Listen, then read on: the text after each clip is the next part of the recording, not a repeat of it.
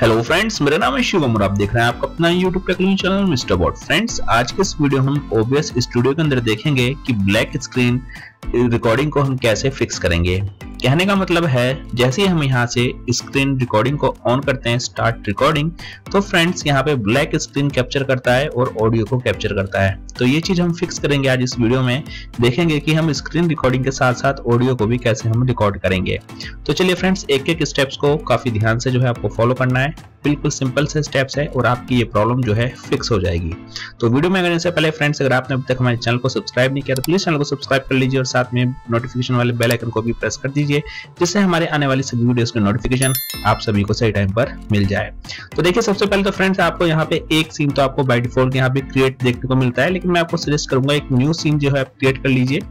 और इसका नाम आप कुछ भी दे सकते हैं। मैं यहाँ पे एग्जांपल के लिए स्क्रीन रिकॉर्डिंग जो है यहाँ पे नेम दे देता हूँ और यहाँ पे कर देता हूँ ओके ओके करने के बाद यहाँ पे सोर्स पूछ रहा है। तो स्क्रीन रिकॉर्डिंग के टाइम पे दो चीज़ इंपॉर्टेंट होती है। सबसे पहले तो एक स्क्रीन कैप्चर करना है हमें। तो डिस्प्ले कैप्चर करने के लिए डिस्प्ले कैप्चर पे मैंने क्लिक किया और यहाँ पे जो है बाय डिफ़ॉल्ट हम ऐसे रहने देंगे और यहाँ पे कर देंगे ओके ओके करने के बाद यहाँ पे फ्रेंड्स से कैप्चर मेथड पूछ रहा है तो मैं आपको सजेस्ट ये करूँगा कि आप यहाँ पे सिर्फ़ ऑटोमेटिक ही रहने दें। और अगर आपके पास मल्टीपल सेटअप है डिस्प्ले का तो यहाँ पे आप जिस डिस्प्ले को कैप्चर करना चाहते हैं, उस डिस्प्ले को सिलेक्ट कर लीजिए। मेरे केस में एक ही डिस्प्ले है तो यहाँ पे मैं प्राइमरी मॉनिटर को ही सिलेक्ट करता हूँ डिस्प्ले वन को, और यहाँ पे कर देना है ओके ओके करने के बाद फ्रेंड्स ये हो गया हमारा डिस्प्ले कैप्चर करने का। अब हमें ऑडियो भी कैप्चर करना है तो यहाँ पे मैं प्लस पे क्लिक करूँगा। अब यहाँ पे आपको ऑडियो इनपुट कैप्चर पे जो है क्लिक कर देना है और इसको भी ओके कर देना है। और इसको भी डिफ़ॉल्ट रहने दीजिए और यहाँ पे आप ओके प्रेस कर दीजिए। तो अब क्या होगा फ्रेंड्स ये ऑडियो को भी कैप्चर करेगा और डिस्प्ले को भी कैप्चर करेगा। तो देखिए फ्रेंड्स यहाँ पे आपको सेटिंग्स पे क्लिक करने की कोई ज़रूरत नहीं है। तो देखिए, जैसे मैं यहाँ पे डिस्प्ले पे आया हूँ डिस्प्ले कैप्चर पे तो फ्रेंड्स यहाँ पे जो है ना, मेरे को कोई भी ऐसा ऑप्शन नहीं दिख रहा है कि मैं जो हूँ इस प्रॉब्लम को यहाँ पे फिक्स कर सकूँ।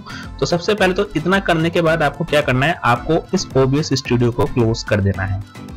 जैसे आप इसको क्लोज करेंगे तो क्लोज करने के बाद आपको राइट क्लिक करना है और आपको अपने केस में, जो भी आपके केस में ग्राफिक कार्ड है मेरे केस में एनवीडिया कंट्रोल है, ठीक है? तो मैं एनवीडिया का ग्राफिक कार्ड यूज़ कर रहा हूँ तो मेरे पास ये है।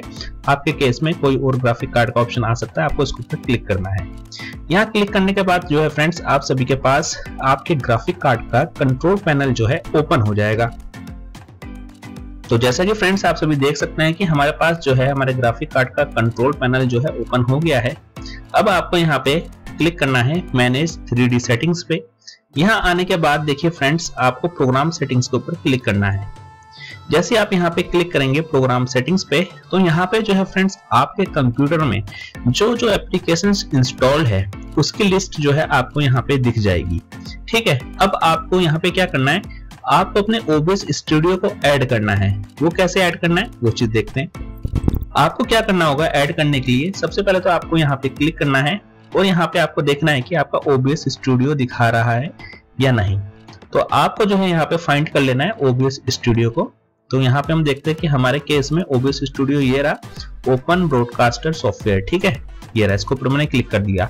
अगर बाई चांस इस लिस्ट में आपको आपका सॉफ्टवेयर नहीं दिखता, तब आपको क्या करना है? एड के ऊपर क्लिक करना है और उसकी लोकेशन पे जाके जो है उसकी exe फ़ाइल को आपको जो है ऐड कर देना है। इस सेक्शन में आने के बाद मैं आपको थोड़ा सा बता दूँ कि आपका कंप्यूटर जो है थोड़ा थोड़ा सा लैग कर सकता है, ठीक है?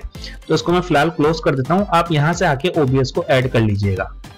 इसको मैं कर देता हूँ क्लोज अब यहाँ आने के बाद ये पूछ रहा है select the preferred graphic processor for this program तो यहाँ पे बाई डिफ़ॉल्ट है use global settings Nvidia auto रहता है, लेकिन मैं आपको सजेस्ट करूँगा, आप इंटीग्रेटेड ग्राफिक्स पे जो है क्लिक कर दें और इसको जो है अप्लाई कर दें। जैसे आप इसको अप्लाई करेंगे तो ये जो है फ्रेंड्स जैसे आप इस सॉफ्टवेयर को ओपन करेंगे, यानी ओबीएस को, तब जो है ये ग्लोबल सेटिंग्स में ना चलते हुए आपके इंटेल के जो मदरबोर्ड होते हैं इंटीग्रेटेड ग्राफिक्स उस सेटिंग्स पे जो है रन करने लगता है। तो चलिए हमने इसको अप्लाई कर दिया, अब उसको कर देते हैं क्लोज अब हम ओबीएस को ओपन करते हैं। देखते हैं कि प्रॉब्लम फिक्स हुई है या नहीं। अब जैसे आप जो है ओबीएस के ऊपर क्लिक करेंगे तो जो सीन आपने पहले क्रिएट किया था वो जो है आपके सामने बाय डिफ़ॉल्ट ओपन हो जाएगा। तो आप देख सकते हैं, अब ये जो प्रॉब्लम है ब्लैक स्क्रीन वाली, ये जो है फिक्स हो गई है। जनरल फ्रेंड्स मैं आपको बता दूँ जनरली ये प्रॉब्लम जो है ज़्यादातर उन सिस्टम्स में देखने को मिलता है जहाँ पे मल्टीपल ग्राफिक कार्ड्स होते हैं। ठीक है? तो आपको जो है बस इंटीग्रेटेड पर स्विच कर देना है और आप स्टार्ट रिकॉर्डिंग करके अपनी स्क्रीन रिकॉर्डिंग जो है ओबीएस के थ्रू अब कर सकते हैं। आप सबसे कोई भी प्रॉब्लम नहीं आएगी। तो उम्मीद करता हूँ फ्रेंड्स आप सभी को वीडियो जो है ज़रूर अच्छा लगा होगा। वीडियो अच्छा लगे तो वीडियो को लाइक करना चैनल को सब्सक्राइब करना। वीडियो के रिगार्डिंग कोई भी क्वेरी है तो नीचे कमेंट बॉक्स में कमेंट कीजिए, नहीं तो मेरे को इंस्टाग्राम पे मैसेज कीजिए। तो चलिए फ्रेंड्स मैं मिलता हूँ आप सबसे नेक्स्ट वीडियो में। तब तक के लिए जय हिंद, जय भारत।